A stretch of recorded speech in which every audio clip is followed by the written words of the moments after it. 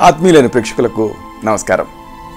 నా పేరు డాక్టర్ చిరుమామిళ్ళ మురళీ మనోహర్ ఈ కార్యక్రమాల పరంపరలో మనల్ని రోజువారీగా ఇబ్బంది పెట్టేటటువంటి అనేక రకాల సమస్యలకి అలాగే మన కుటుంబ సభ్యుల్ని బాధించేటటువంటి అనేక వ్యాధులకి అతి విలువైన అతి సులువైన అతి తేలికైన ఆయుర్వేద ఔషధాల్ని వీటి తయారీ విధానాల్ని తెలుసుకుంటున్నాం.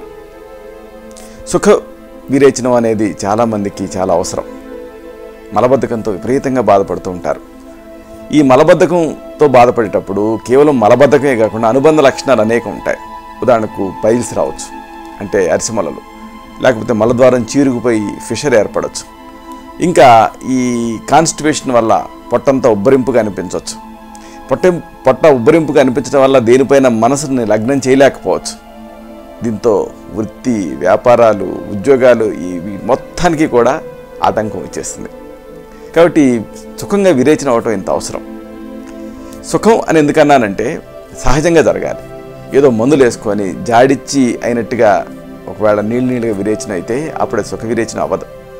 కాబట్టి ఇలాగా అన్ని వయసుల వాళ్ళకి సుఖ విరేచన అవటం అవసరం. అంటే చిన్నపిల్లలు మధ్య వయస్కులు అలాగే వృద్ధాప్యం. వీటి అన్ని సందర్భాలలో కూడా అంటే పిల్లల్లో మధ్య వయస్కుల్లో వృద్ధులలో కూడా వాడగలిగేటటువంటి ఒక తేలికైన ఔషధాన్ని ఆసక్తికరమైన ఔషధాన్ని తెలుసుకున్నాం మన అందరి ఊళ్ళల్లో అందరి ఇళ్ళ లోగిళ్ళల్లో అలాగే అందరి కాలనీల్లో గ్రామాలలో వేప చెట్లు ఉంటాయి. ఈ వేప చెట్ల నుంచి ఈ వేప పండ్లు నేల మీద పడి మనకి మగ్గిపోతూ ఉంటాయి. ఇలాంటి ఈ వేప పండ్లను తెచ్చుకోండి. ఒక గుప్పెడు. తెచ్చుకొని శుభ్రంగా కడగండి. ఎందుకంటే నేల మీద పడతాయి కాబట్టి అవి. ఇప్పుడు ఈ వేప పండ్లుని ఇలాగ ఒత్తితే దాంట్లోపల గింజతో పాటు గుజ్జు బయటకు వస్తుంది. ఈ గుజ్జుని నోట్లో వేసుకొని గుజ్జు మాత్రమే తినండి. గింజ ఊసేసేసేయండి. ఇలాగ వేప లోపల ఉండేటువంటి గుజ్జు తింటూ ఉంటే అన్ని వయసుల వాళ్ళకి కూడా సుఖ విరేచన అవుతుంది. అంతేనా? ఇది ఇంకా అనేక వ్యాధుల్లో ఉపయోగపడుతుంది. ఉదాహరణకు యూరినరీ ట్రాక్ట్ ఇన్ఫెక్షన్స్ అంటే మూత్ర వ్యాధుల్లో ఉపయోగపడుతుంది. అలాగే పీగుళ్ళల్లో కానీ ఉదరంలో కానీ ఎక్కడన్నా ఇంటెస్టైనల్ వర్మ్స్ ఉంటూ ఉంటాయి. ఇలాగ ఇంటెస్టైనల్ వర్మ్స్ ఉంటే ఈ క్రిములు ఉంటే వీటిని కూడా ఈ ఔషధం తగ్గిస్తుంది. కాబట్టి ఈ రకంగా దీన్ని అనేక వ్యాధులలో వాడచ్చు. అంటే యూరినరీ ట్రాక్ట్ ఇన్ఫెక్షన్స్లో అలాగే ఈ ఆంత్రక్రిములలో ముఖ్యంగా మలబద్ధకంలో. చూసారా ఇంత తేలిగ్గా ఈ మలబద్ధకం సమస్య నుంచి బయటపడవచ్చు ఇలాంటి మరొక తేలికైనటువంటి ఔషధాన్ని ఇదే కార్యక్రమాల పరంపరలో మనం కలుసుకున్నప్పుడు సవివరంగా సశాస్త్రీయంగా సమగ్రంగా తెలుసుకుందాం. అయితే ఇక్కడ ఒక మాట. మామూలుగా ఈ మలబద్ధకం అనేది ఇతర వ్యాధులలో వ్యక్త లక్షణం కింద ఉంటూ ఉంటుంది. ఒక్కోసారి లోపల పాలిప్స్ పెరుగుతూ ఉండొచ్చు.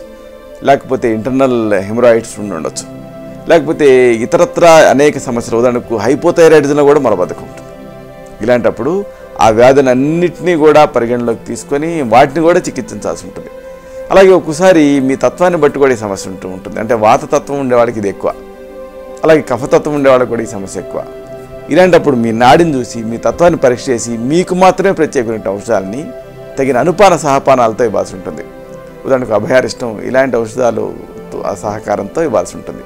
అప్పుడు ఈ సమస్య నుంచి మీరు పూర్తిగా బయటపడగలుగుతారు. శతం జీవ శరదో వర్ధమాన. శతం హేమంతాన్ శతం వసంతాన్. వంద శరత్తులు వంద హేమంతాలు వంద వసంతాలు వర్ధిల్లుతూ జీవించండి.